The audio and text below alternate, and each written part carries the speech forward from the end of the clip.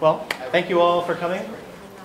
I'm pleased to introduce tonight's speaker, Francesco Fresa from Milan. Thank you. Francesco was born in Rome and graduated from the Faculty of Architecture of Rome University in 1990. He trained at Gwathmey Siegel Architects in New York. In 1986, he moved to Berlin, where he worked until 1991. From 1991 to 1996, he worked with Gregotti Associates of Milan, in which he took charge of construction sites in Germany and managed relationships with German customers and the government, in particular in Berlin, Hamburg, and Leipzig. He served as an architecture critic for magazines including Casabella and Bauwelt, and in 1996 he founded together with Germán Fuenmayor, Gino Garbellini, and Monica Tricario Piuarch Studio in Milan. Piuarch was named Italian Architect of the Year in 2013, a prize given by the National Institute of Architects.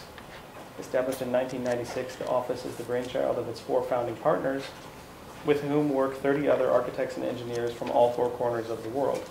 Piuarch's projects take the form of the repercussion of industrial, sorry, recuperation of industrial areas to public buildings, complexes for residential and offices, and town planning.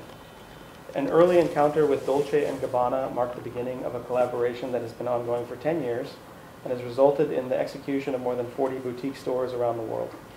The Milan headquarters of Dolce & Gabbana, the factory in Incisa and Valdarno, and the requalification of the ex-Metropole Theater, now a multifunctional space for both event and fashion shows.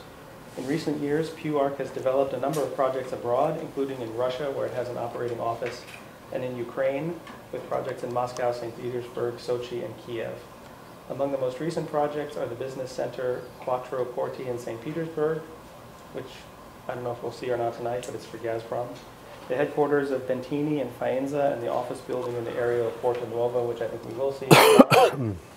Currently under construction, the redevelopment of the former Caproni areas also in Milan. So with that, nobody really here wants to hear me talk anymore.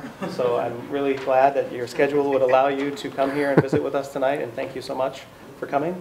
Francesco Fresa. Thank you.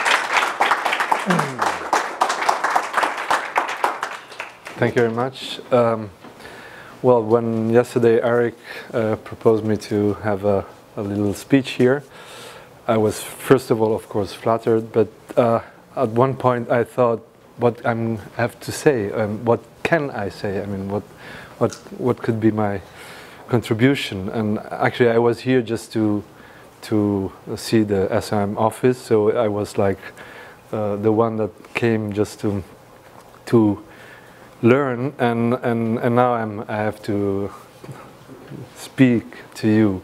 So what usually when I don't know what to do, I look out of the window. Um, I have very in, in my office. I have a nice window. I look out of the window, and here you have a beautiful window, so it's even better to look out the window. And when I looked out of the window, I saw uh, this beautiful garden from uh, Dan Kiley, which is, I think, one of the most interesting things that I saw in Chicago. I, the first day I came here, I sat in the garden, and I really uh, had the feeling of uh, what means to create a space, to create a public, public space, to create with architecture or, or non, not only architecture elements, a, uh, uh, um, a link to the context. So what I want to talk today is about context. Uh, because uh, context is actually the issue which for us, for our, for our architecture, is one of the most important things. And uh, at the same time is um, uh, the thing that makes you feel that you are in the right place. So of course, uh, if I am in Chicago, I would like to be in the context. And looking from the other side of the window, I saw another thing, which is the famous Anish Kapoor um, cloud gate we call it beans, actually, uh, maybe you too.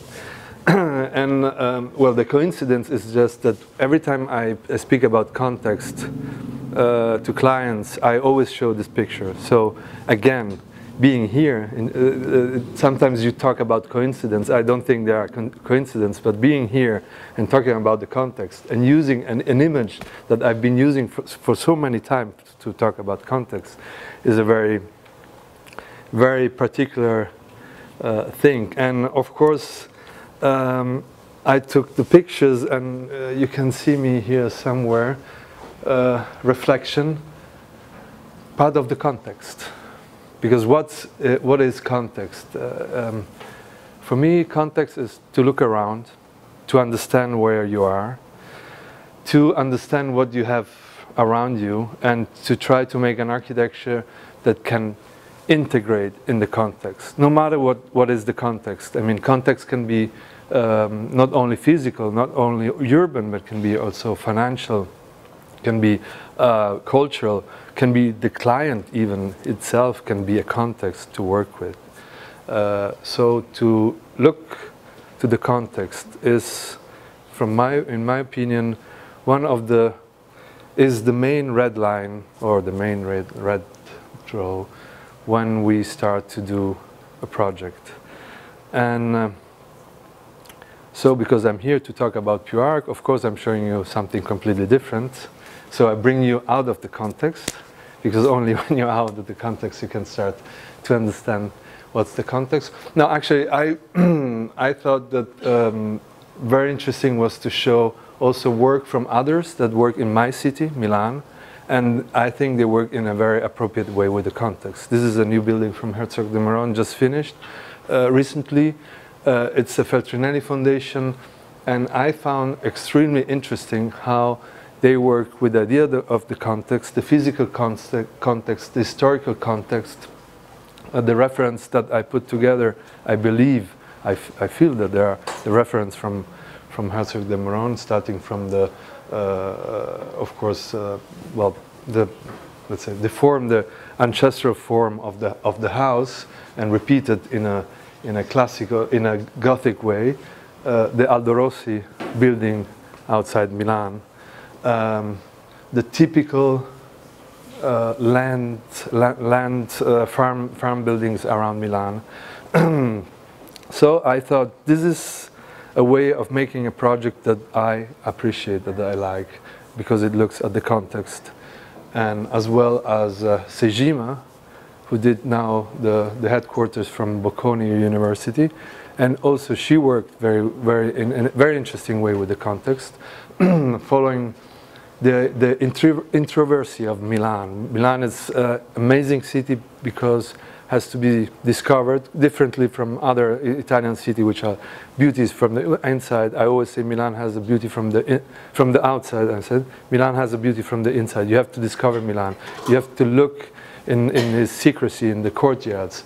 And one of and, and this is a typical image of the Milan courtyards, which was the place of the city. Milan doesn't have many squares, many many public spaces, or if there, if, if you have squares, there are parkings. Uh, the life was inside the, the, courtyards. The courtyards had also a typology of casa ringhiera, which means the, the, the house where the, the, the, connection was on the facade, which was not only a way of making uh, low-cost housing, but was also a social system. People were living in the courtyard, were watching, well, spying maybe people go, going, going home, or, but at the same time was a social system. You could understand how you know what's if, if there were dangers in, in the community you, you can you could follow the communities. And these are the two buildings are quite interesting or again introverted. This was a cemetery with a church in the center Rotonda della Besana and, and this is the University of Milan uh, it used to be a hospital. It's three courtyards, and from the outside is very discreet. When you come inside, it's really a campus. It was built in 1,400 as a hospital, as a public hospital, and it's the exactly the idea of a campus that we have now. So these two examples are for me very uh, significant for what I think is the appropriate way to use the context, to work with the context. In Milan, we had many other examples. We had uh, many big offices like uh, Zaha Hadid, uh, and other architects, IMP, who came and built some buildings. We are very open to uh, for foreign architects. I hope that uh, also Chicago will be same for us. Um, and they work with the context in a different way. So that's the, the way I, I showing you this is this because just I want to to tell you uh, uh, at the beginning. This is for me the way to do it, and not globalize architecture as the right thing. Um, and about globalized our relation between architecture with context and archi globalized architecture uh, was our first experience for this building, the Porta Nuova building that you mentioned before.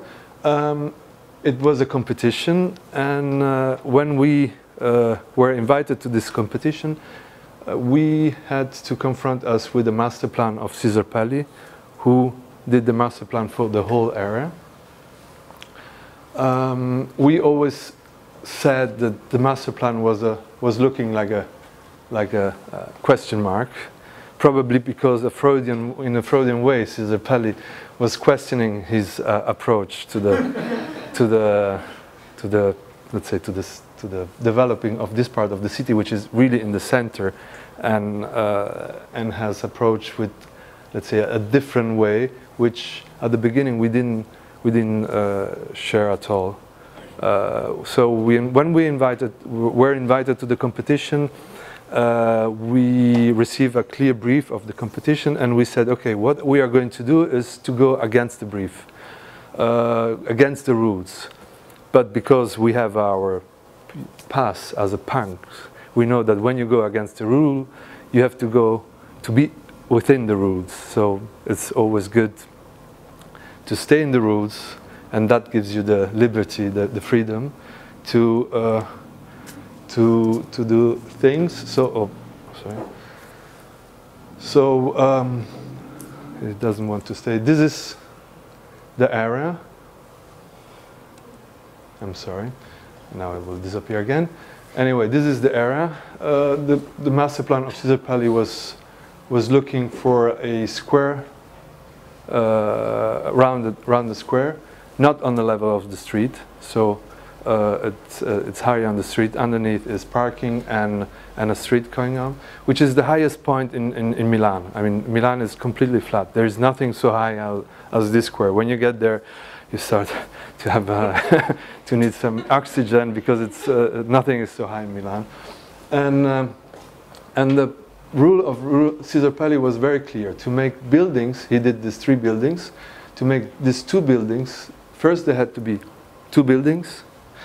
Secondly, they had to have different heights.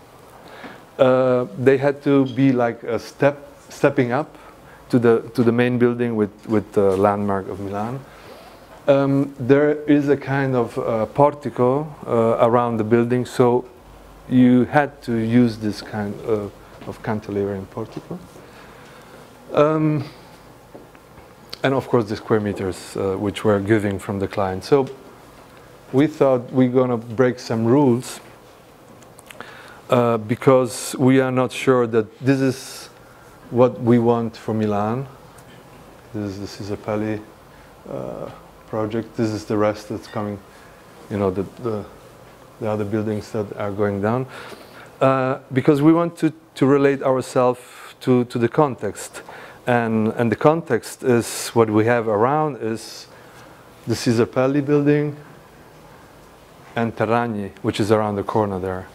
Uh, the Cesar Pelli building again, and another building of Terragni, uh, you know, with, with the street with the street access, or or Muzio, which is also very close to this to this area. Uh, these other buildings are also given by as a master plan by uh, uh, from the dimension height from the Cesar Pelli building.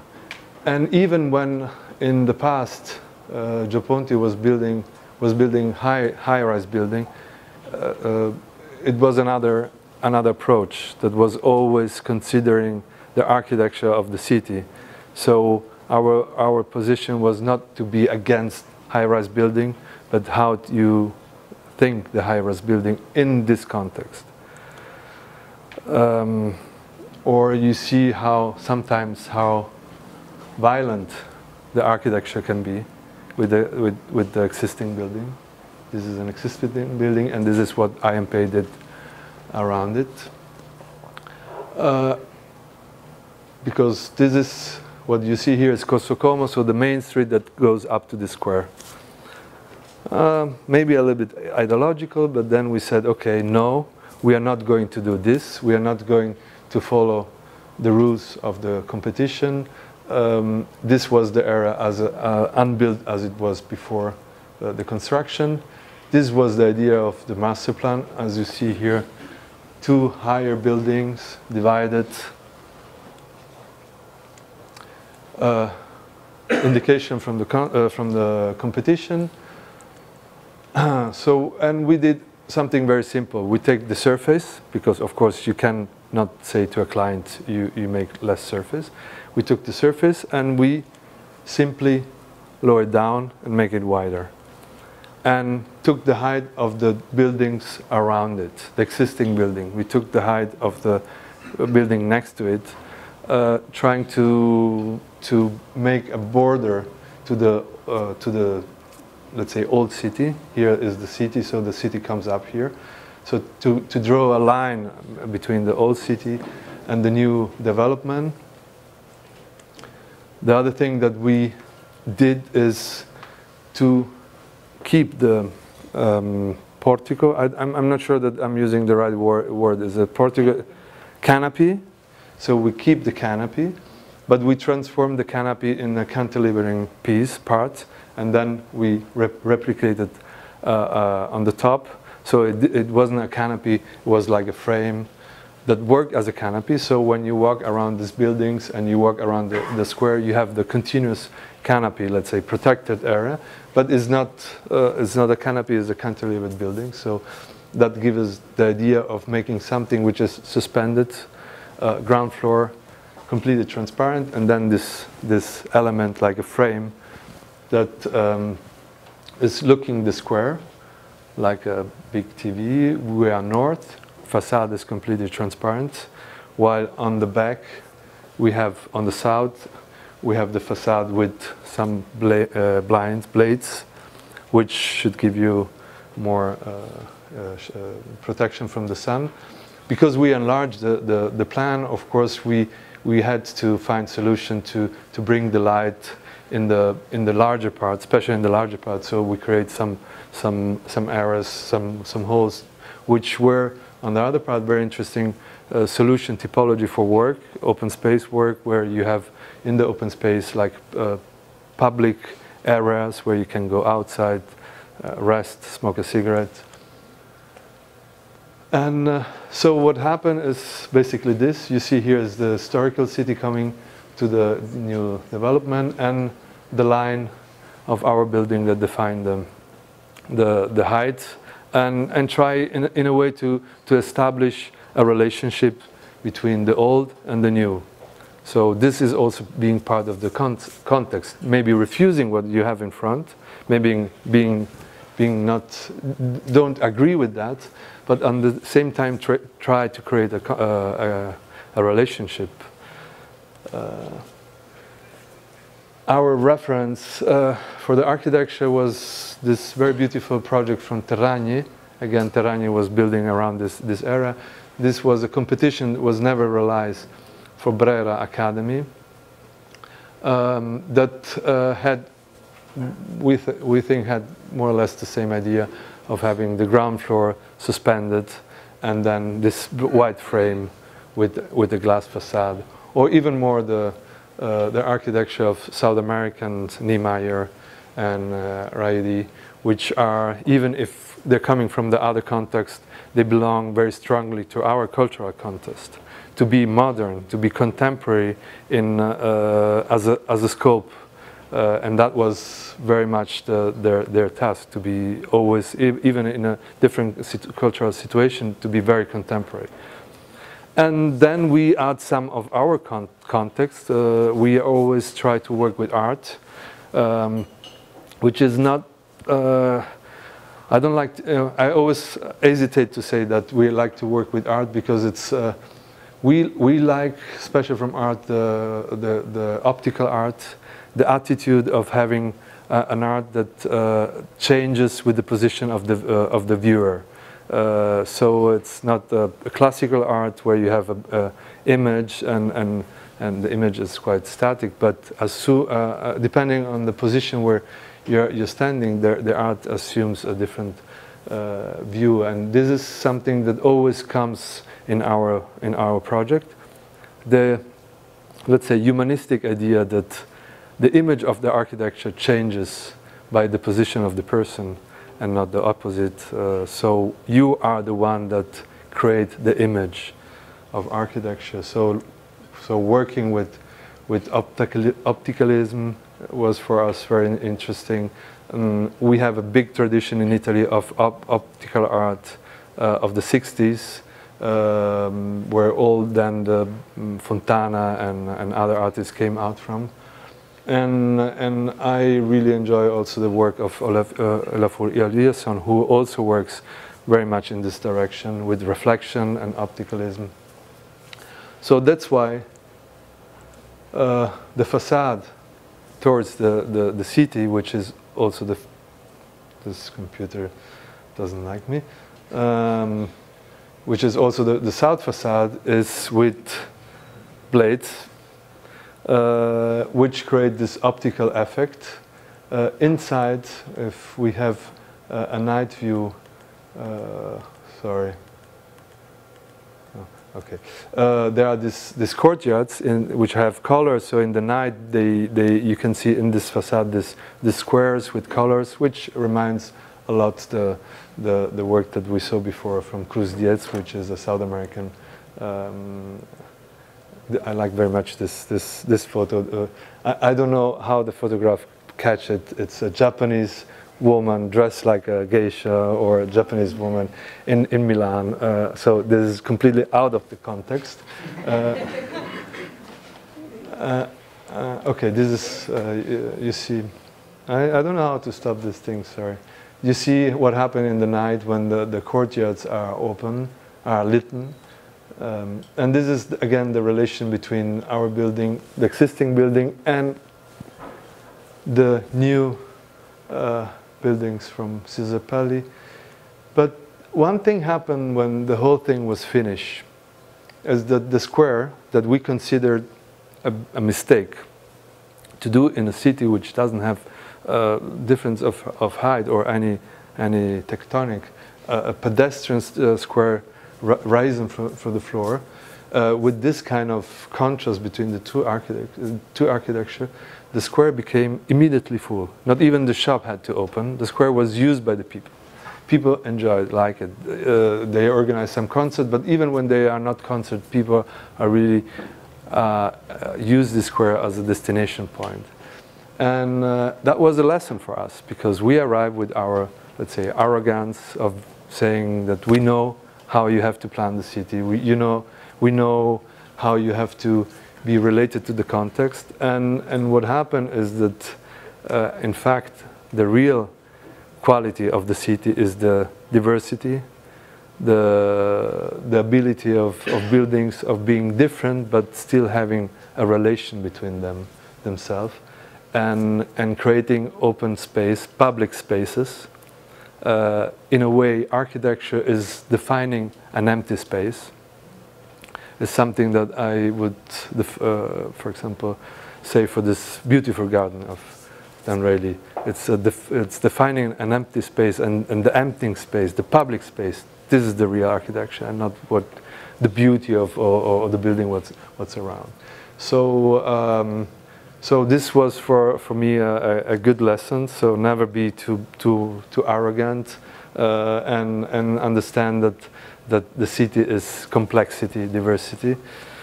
And, and that is, uh, lead us to the second project. This is completely another place, is in Russia, is in St. Petersburg. St. Petersburg, as you know, is, is a beautiful uh, city built in the uh, beginning of the 7th, 18th century, 1700.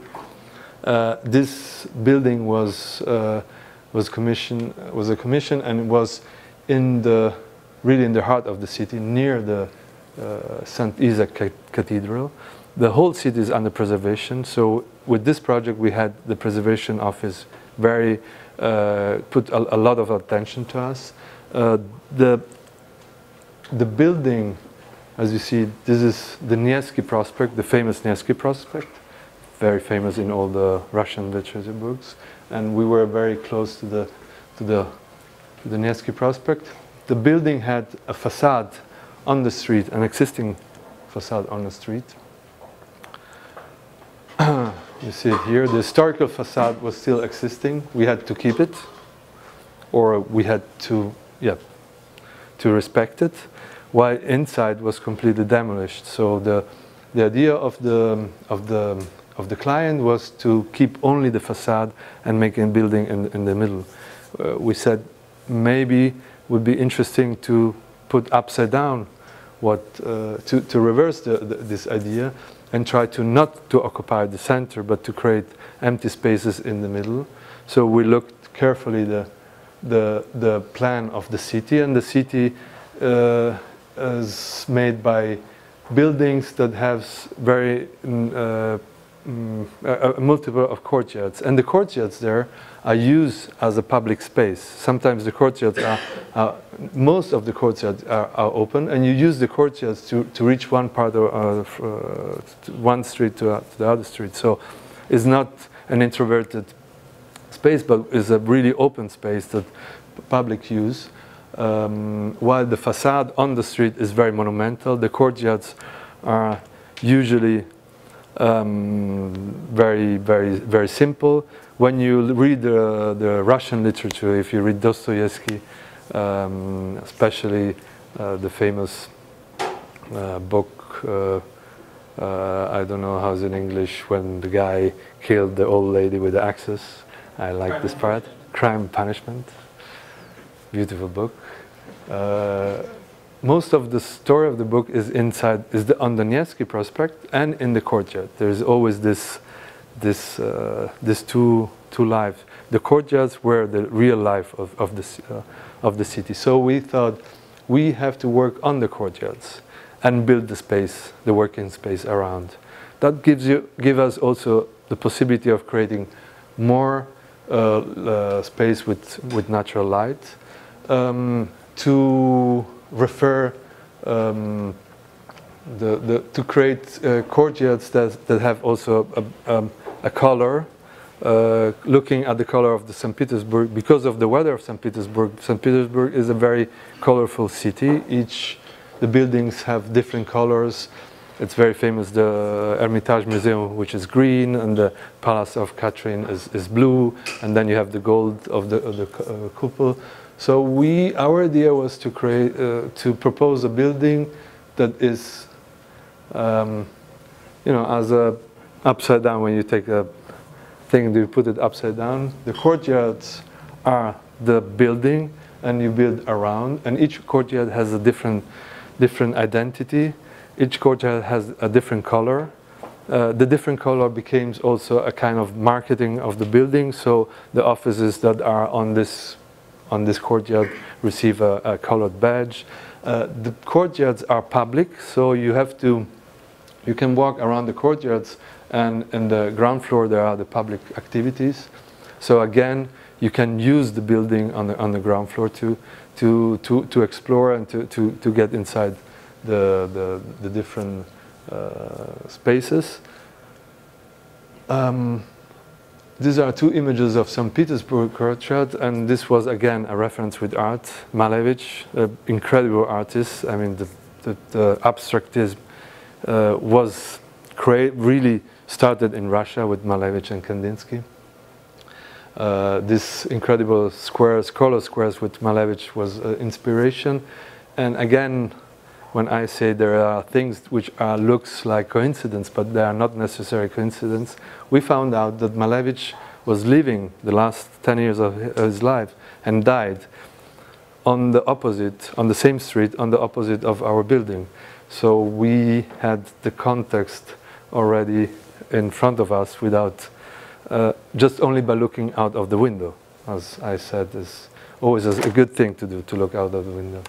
So um, I know that sometimes we force a little bit the, the, the, the, relation, but if you look this image of Malevich and, and this image, I sometimes I see some some uh, coincidence.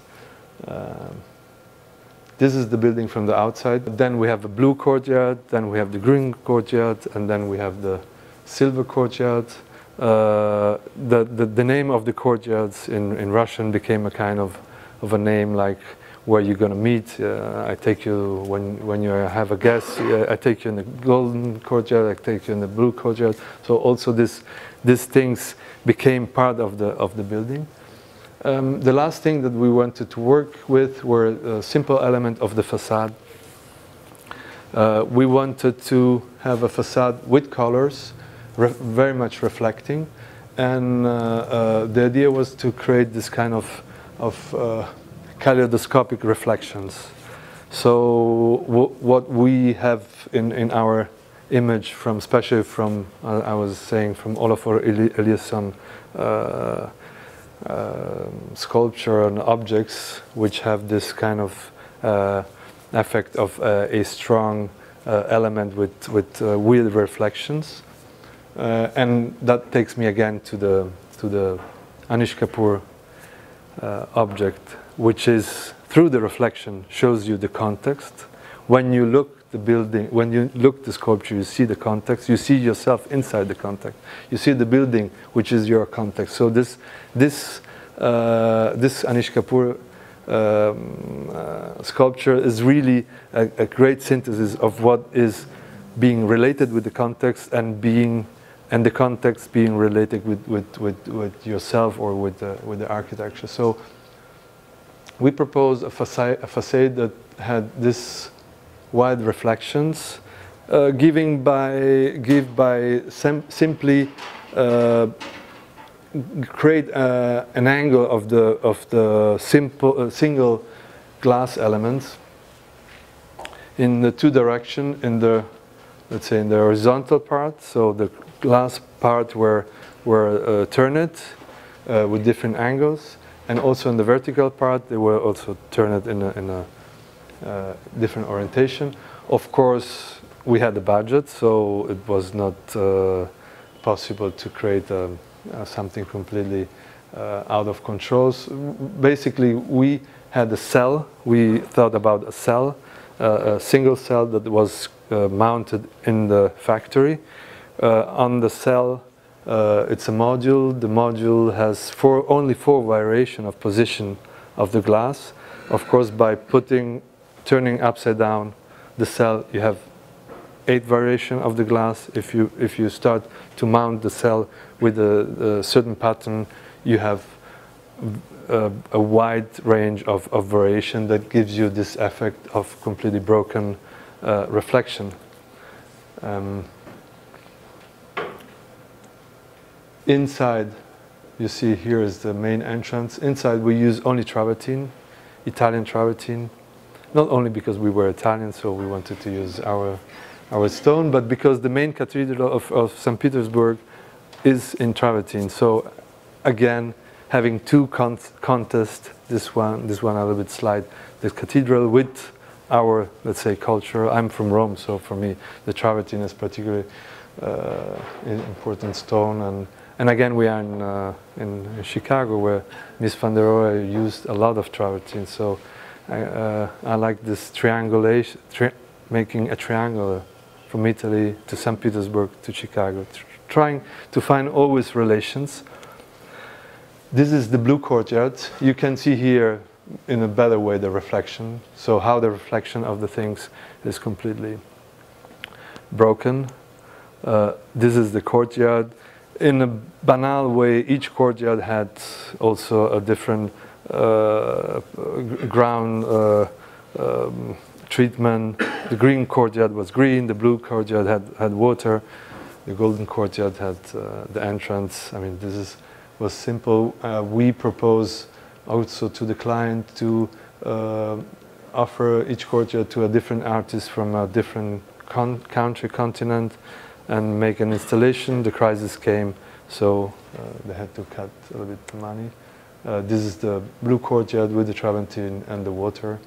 Again, our reference with Mies was, was here. We, we were work, drawing with the books of Mies on the table uh, of the Barcelona pavilion. And, um, um, the funny thing is that the preservation office, which is very strict, uh, didn't stop this project at, at all. Somehow, I, I, we don't we don't understand if they didn't understand it or if they didn't follow it up. Um, and my biggest compliment was uh, from uh, one of the old Russian guy who came inside, very old, uh, with all these uh, medals on, on, on, on the jacket because he was on the Second War. And he was looking around and said, I really don't like it. He said, I don't understand when you are going to put straight these glasses. But I have the feeling that this building was always here, he said. And this was a great compliment because when you are able to create an architecture that doesn't, even if it's a big contrast, but doesn't create uh, um, a, a con, uh, let's say, a, a dissonance, then uh, you're happy because, again, city is complexity, city is diversity. I mean, we in Italy, we know how important this is, this is and how is the Italian city uh, has been developed by this co uh, constant con contrast in the, in, in, the centuries, and but how this contrast create a, a very, uh, it's like jazz, you know, it creates an, an harmony, uh, which is uh, maybe the, the, the, beauty of the city. Um, this is the last courtyard, the, the Yeah, uh, as, you, uh, as I was saying, each courtyard had a reference to a color, to a building. But all these things then were in our mind. I mean, we, we never, I only telling it to you or to, to some, some, some presentation of, of the building, but it's, it's not important. The process, uh, it's, it's, uh, it's more important, it's not important, the how can I say, the process is a part that is important as, a, as the result and, and the result doesn't have to tell you uh, necessary about all the process. It's, it's the, the right process brings to a result which has harmony or proportion and quality. Uh, these are some technical drawings. You see how, how the images is completely always broken and, and in a way some, you can see some ab abstractism which is really uh, belonging to the Russian culture. The, the Russian culture is extremely uh, full of, of, of empa empathy, uh, full of passion and full of. Uh, so you understand when you understand the Russian culture why the abstractism was born there, uh, because they are all completely uh, nuts. I would say crazy. This is how one of these models were, were, was mounted. So uh, from the factory you received the, the, the, piece with, with the already uh, glued glass in the metal frame. And then of course there was it was very precise job to, to put all the models together in the right way. But then it looks casual I mean without without a rule which is something that we liked. The last project that I wanted to show you, it's in construction. Uh, it's a theater in, uh, in, um, in uh, Riva del Garda, which is uh, on, on uh, near, near Verona. Um, here, the approach was completely different. Uh, again, we worked a lot with the context. There, is a, there was an existing building, exhibition building. So the, the theme was the extension of this, of this building uh, on the lake. Uh, we have here the, the old town of Riva del Garda and north the mountains starts. So from a point of view of nature, it was incredible place.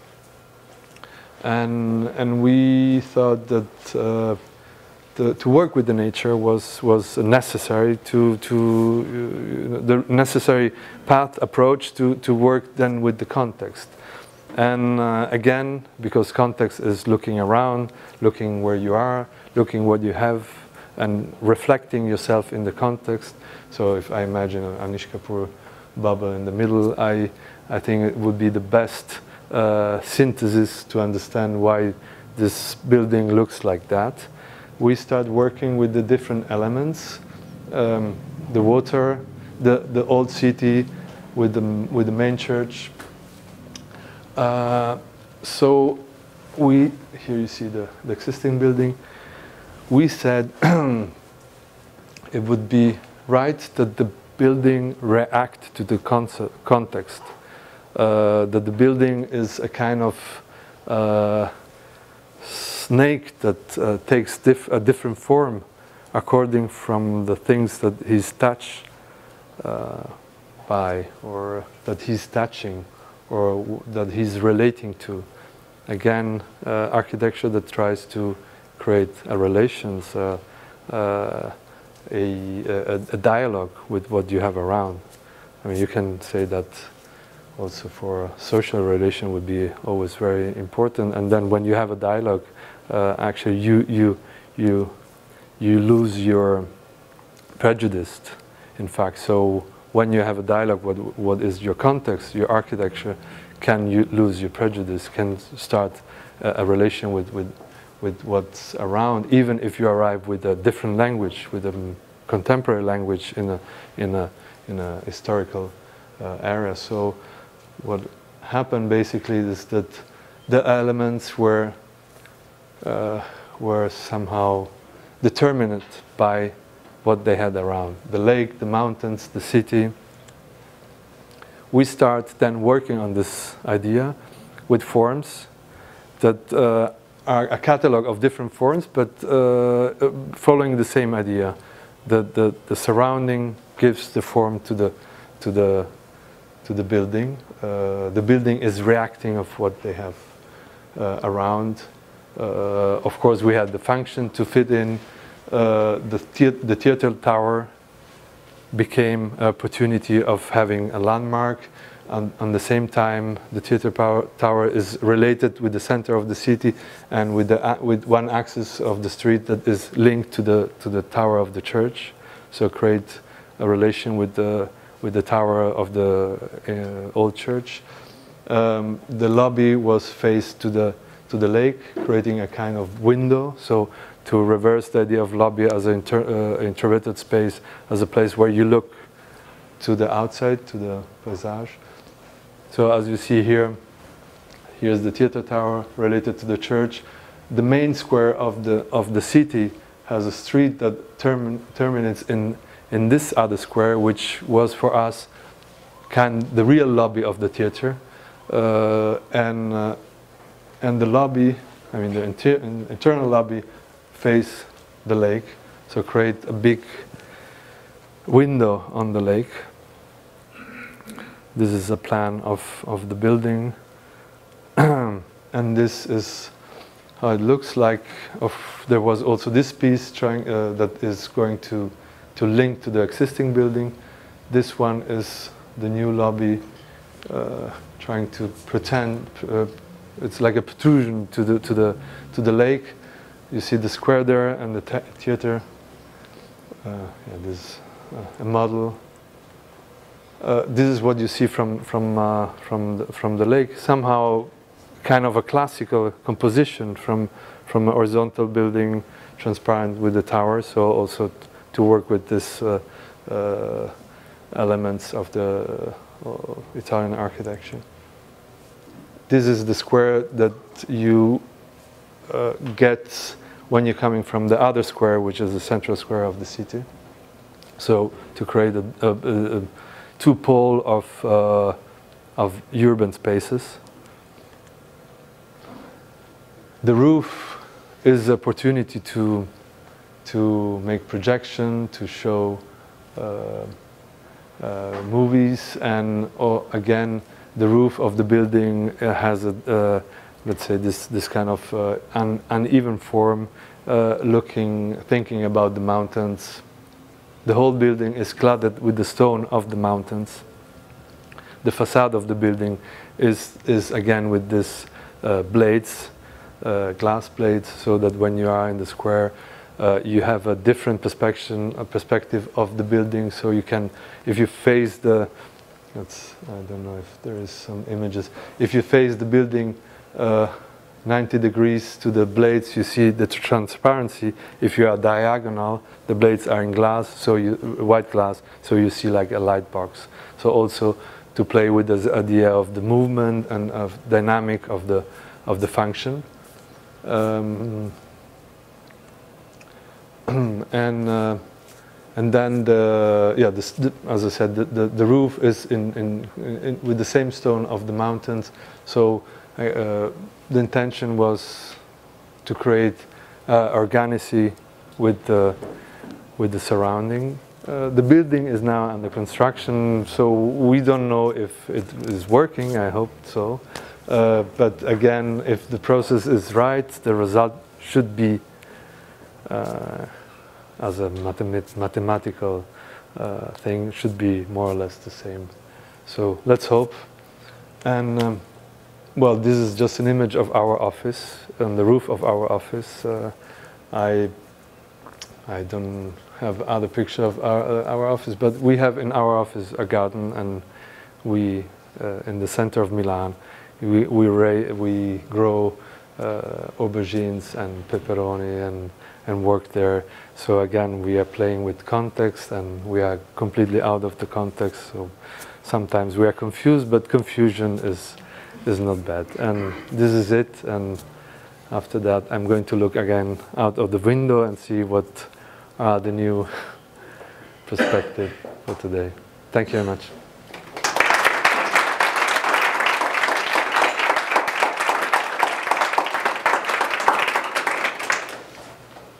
Anybody have any questions? How far along is the last theater? I'm, was hoping it would show a construction photo. Uh, the Congress Hall. Uh, well, the I, I didn't mention this last issue, which is again uh, an issue of context. The theater is the only public building we have, uh, and uh, the other buildings we did in a relatively quick time. The theater is a building uh, by a, a, region of the north, which is Trentino Alto Adige, so it's the excellence of Italy, it's the most efficient, they are Germans, they speak in German, uh, they're Austrian, they used to be Austrian. Efficiency, working administration, and so on. We won the, the competition nine years ago and it still has to start the construction. So this is part of our context, of the Italian context, uh, that uh, when you do a public building, uh, you never know when it's going to be finished. Or, but not this is the the problem is not for the architects, who have time, and it's for the people because uh, this a public building should serve the people, and and the people of Riva are still waiting for since nine years for this building. So you have to be patient a little bit more, as we are. That's different, a little bit different than some of the work we do, which is jokingly referred to as China speed. And China speed, to me, is embodied by this statement, which was said to me by a client. We need to see eight more examples of forms that have been never before seen by man, and we need to see them by tomorrow night at 10 o'clock. And they can't be larger than a nine meter grid, and they have to have concrete columns on the exterior wall. See you tomorrow, bye. That was the brief. Well, that, no, that was the instruction for the day, it's kind of a cycle. So those, those sound like they're two opposite ends of a spectrum to me. Yeah. Um, but they say China is the empire of 10,000 years or whatever, no? Something like this. So we are yeah, Italian, we are waiting also since 2,000 years that we are getting a little bit back, but the Chinese should be patient as well. Their patience is a little different. It's strategic patience.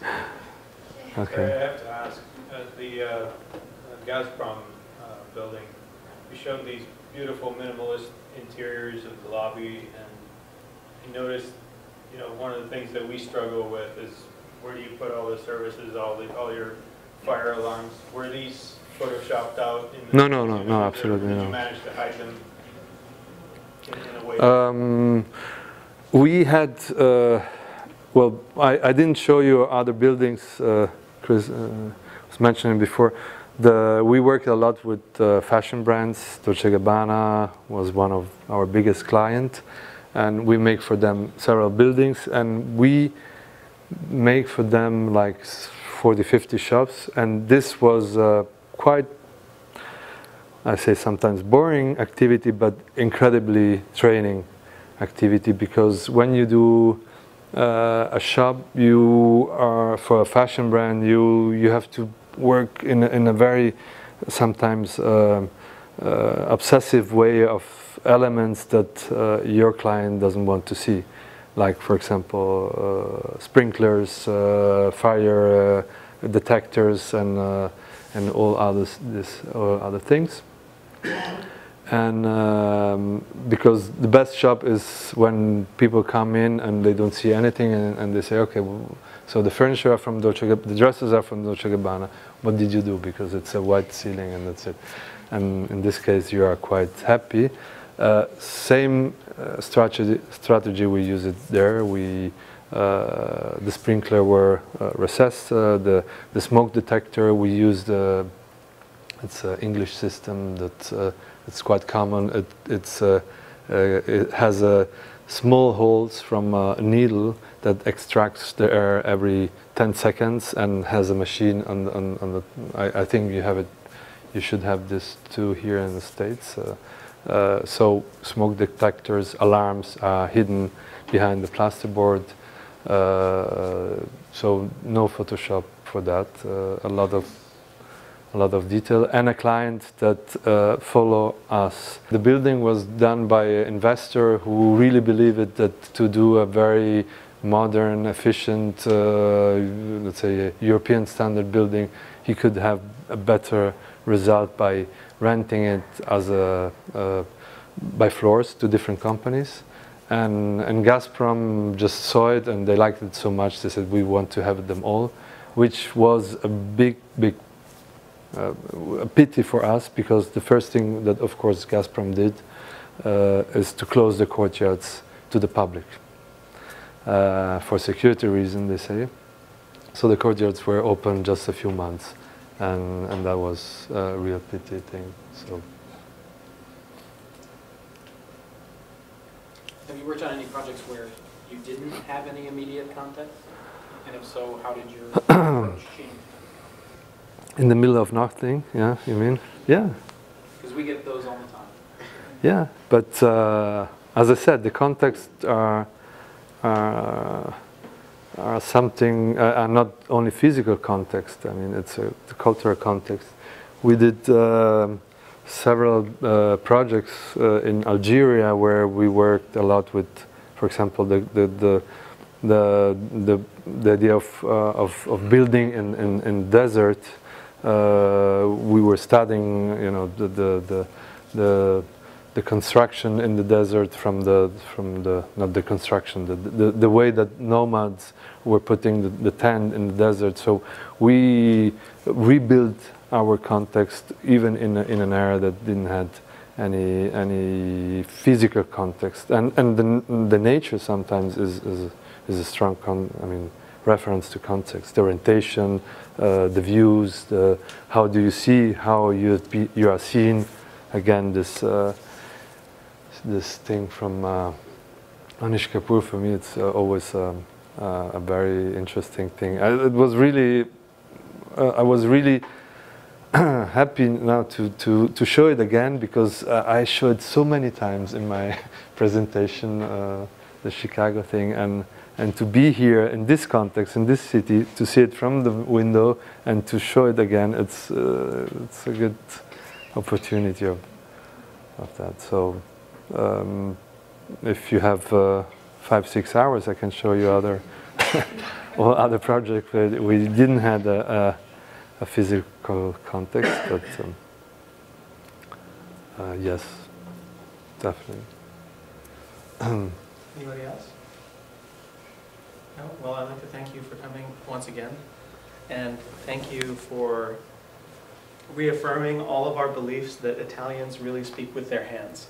You really speak with yes You really speak with your hands. Yes, yes. Well, That's true.